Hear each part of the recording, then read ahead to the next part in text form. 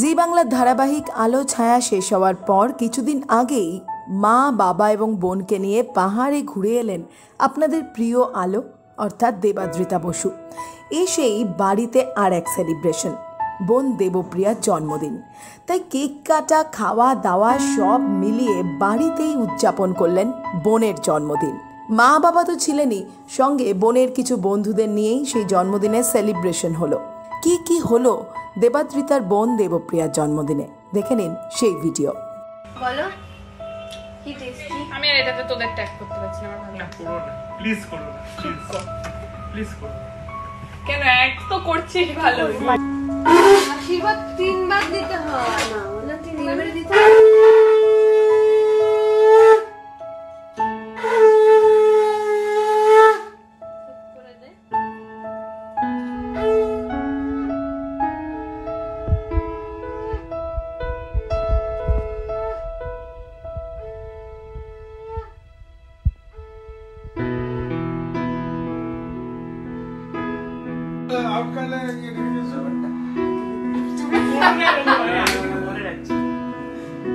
তুমি যাও তো এদিকে না ওদিকে ওদিকে